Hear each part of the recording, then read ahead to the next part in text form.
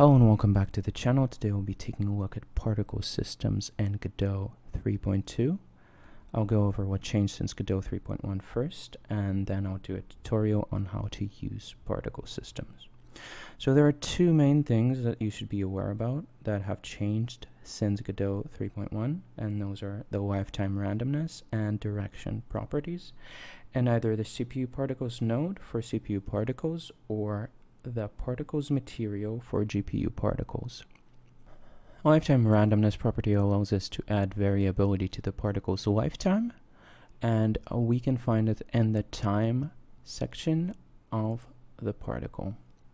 Allow me to showcase it. This is a trail effect in my game with the lifetime randomness on 3.0.3 and if we set it to zero you can see that the effect is way less nice. The particles disappear in the order that they appeared in. It just doesn't look as good. The second thing you should be aware, aware of is the added direction subsection, which allows us to set the direction of particles.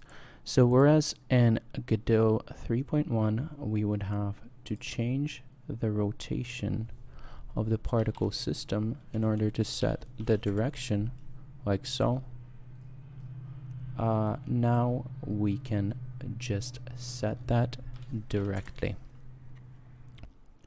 So let's get into the tutorial. There are three particles that we'll be replicating. It's the firefly particles in the back, it's the fire particle, and it's the orbiting lights particle, which will orbit the mouse and kind of lead the fireflies way.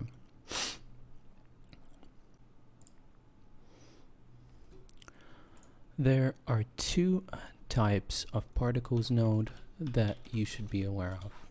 It's the CPU particles and the particles node. Uh, the difference between those is that the CPU particles node uses your CPU to process the particles, and the particles node uses your GPU to process the particles. And the particles node in particular is way more powerful. It allows you to process uh, a lot more particles at the same time.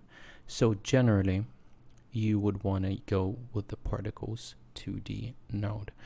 And the only reason why you would want to use um, the particle, the CPU particles node is if you're using the GLES2 render, which I generally use because I find it way less buggy for web exports in Godot, which I mainly do. We will be using the particles 2D node in this tutorial because I assume most people will be using the GLES3 renderer since it's a more powerful option for uh, desktop games. But I will show the differences between the two nodes so you can create the same particles inside a CPU particle system. So let's start with what we have with a fresh particles 2D node. In order for it to start spawning particles, we need to add a particles material. We'll save that inside a new materials folder. And we will start with the fireflies.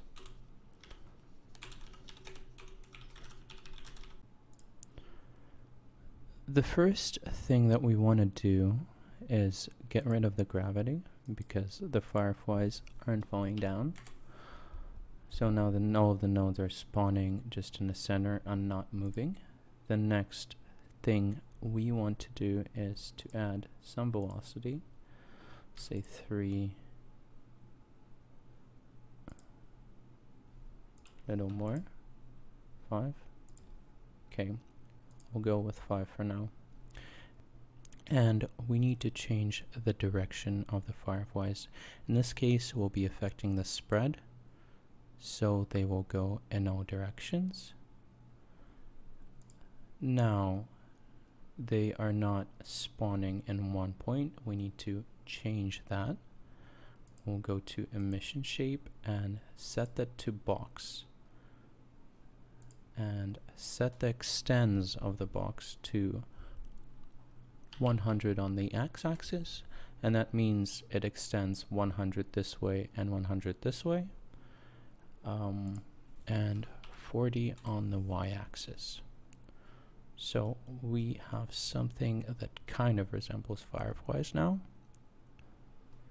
The next thing we want to do is set the color of the fireflies and we want to go with a gradient over here because we want the fireflies to go from a low alpha to a full alpha to a low alpha so they kind of light up. So we add a gradient texture and to that we add a gradient.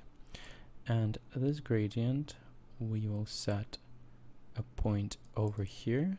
It's gonna change from 0 alpha pardon me from zero, zero alpha to a yellow over here with full alpha into a yellow over here with full alpha as well and a color with a zero alpha over here right so now it kind of resembles what we had in the beginning a little more. Next thing we'll do is set the lifetime of the particles for a little longer so they last a little longer and we'll set some lifetime randomness as added in Godot 3.2 uh, which is inside the process material itself time 0 0.2. Let's go with that. Nice. Why is it going from... No, it's fine. And there you have it, a firefly particle which goes in a random direction and spawns over a rectangle. If you want to have a bigger rectangle, you will set the emission shape, say 200 or even, I don't know, 2000. We will have to increase the amount of particles it spawns in that case to 40. Is that enough? Yeah, that's enough. We will save this particle in the scenes. Fireflies. and we will move on to the next one. Next up is the fire. We'll actually be using two particles nodes for this one because we want the fire and the smoke to be different particle systems. Set the process materials for the fire first. Open that. Turn off gravity. Set direction to y negative 1 because it's moving up. Set direction for x to 0. Velocity, initial velocity is 3. Kind of starting to look a bit like it set the time, the lifetime randomness inside the particles 2D node to 3. Now they are going in a spread of 45. We want to decrease that a little bit so the particles go up instead of in sideways will increase the amount of particles to 50.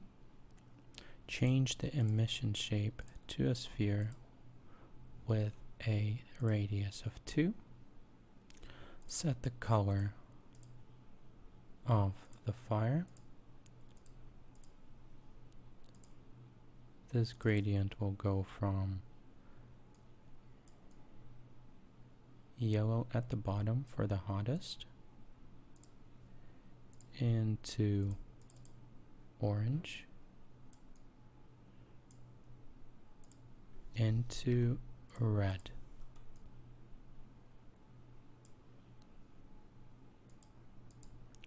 Now let's make the fire disappear a little bit. So it will go into red and disappear over here in the end.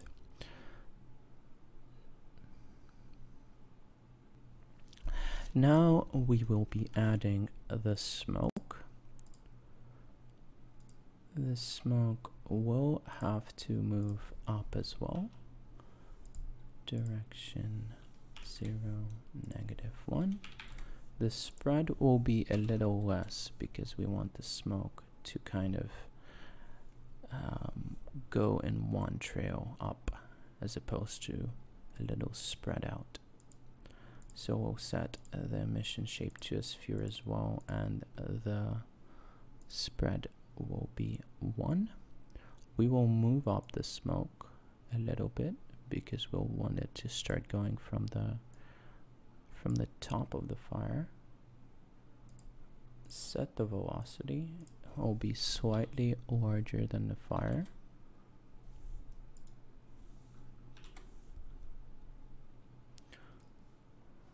The lifetime of the smoke will be also larger than the fire and let's set the amount of particles to more. Set the color of the smoke we will go from black sorry gradient texture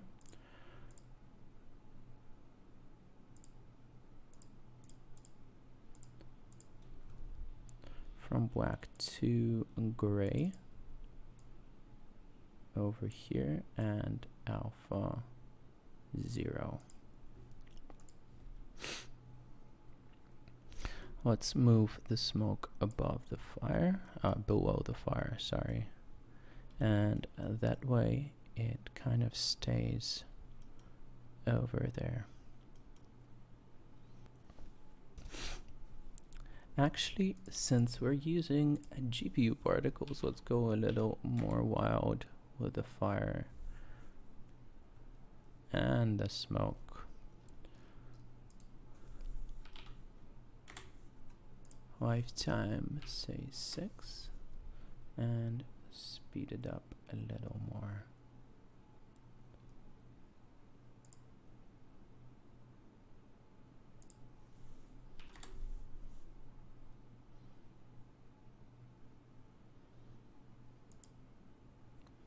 and there you have it a fire particle system. We will save this as well. And move on to the orbiting lights system. Add the material, set gravity to zero, set emission shape to sphere with a with a scale of 5 and we will set the orbit velocity to 1 like so. Want to increase number of particles a little bit. And we want to increase their lifetime. And there it is thank you so much for watching. I hope this was informative and i'll see you next time